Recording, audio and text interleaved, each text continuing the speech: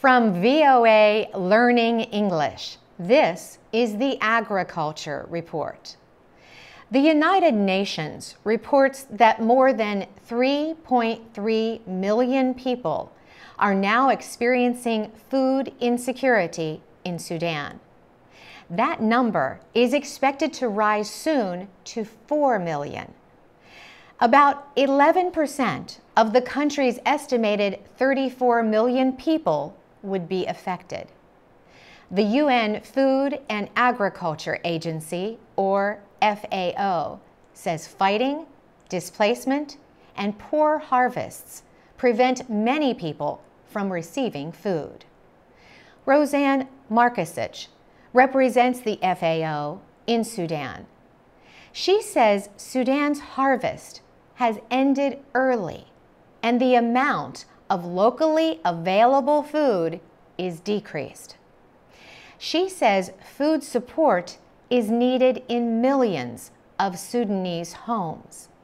She says conflicts in the Blue Nile, South Kordofan, and Darfur areas have added to food insecurity.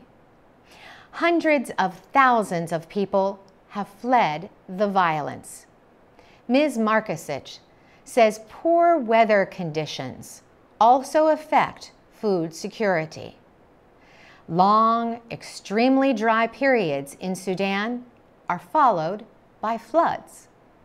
Low food supplies in parts of Sudan have caused a sudden rise in food prices. Meat prices, for example, are up 84%.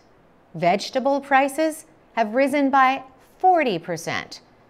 And the cost of transporting food has increased by 70%. Conflict in neighboring South Sudan also hurts the food situation. Refugees continue to cross the border and enter camps in Sudan. The FAO official says it is very important to continue to provide the camp populations with seeds and farm supplies. And the refugees need the same when they return home.